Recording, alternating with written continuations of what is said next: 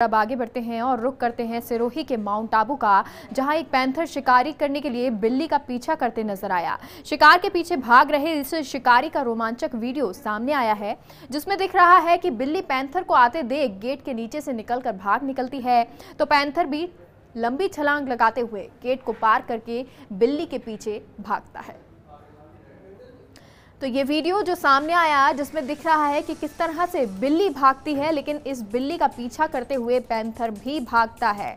तो ये पैंथर जो रिहायशी इलाकों में आ जाता है और जब बिल्ली अपनी जान बचाने के लिए भागती है तो इसका पीछा करते हुए पैंथर भी इसके पीछे लग जाता है। तो ये एक रोमांचक वीडियो जो सीसीटीवी कैमरे में कैद हो गया और इस कैमरे में ये साफ़ नज़र आ रहा है कि किस तरह अपनी जान बचाने के लिए बिल्ली इस दरवाजे को कूद जाती है। लेकिन पैंथर भी इस बिल्ली का शिकार करने के मूड में नज़र आया और इसीलिए वो भी इस बिल्ली का पीछा करते हुए आगे बढ़ जाता है। तो ये आगे शिकारी किस तरह से इस बिल्ली को पकड़ता है?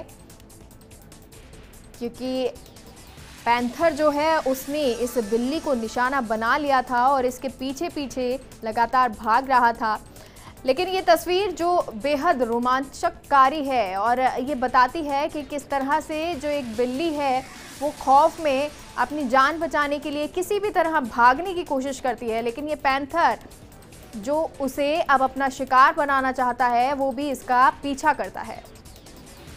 तो बिल्ली के शिकार के लिए पैंथर ने भी लंबी छलांग लगा दी, लेकिन बिल्ली का देखिए किस तरह से वो छलांग लगाती हुई नज़र आई। तो आगे शिकार, पीछे शिकारी और बेहद रोमांचकारी ये तस्वीर।